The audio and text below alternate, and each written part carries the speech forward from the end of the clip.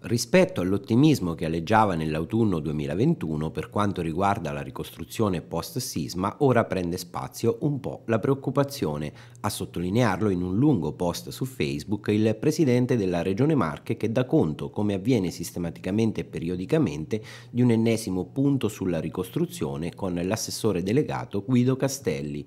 Dopo l'ordinanza 126 sul preziario, osserva il presidente della Regione Marche, occorre assicurare un monitoraggio monitoraggio costante e continuo dei prezzi delle materie prime, perché con lo scenario attuale potrebbe rendersi necessario un ulteriore aggiornamento.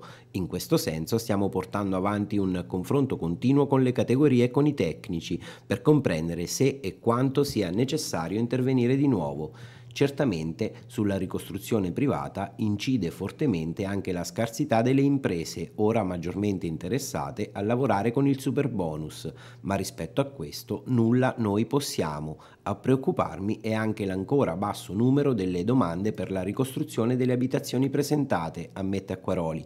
Certamente i segnali che arrivano nell'ambito dei servizi scolastici e nell'ambito della ricostruzione pubblica non sono incoraggianti né convincenti nei confronti di chi da ormai ormai sei anni è costretto fuori casa e in sistemazioni di emergenza.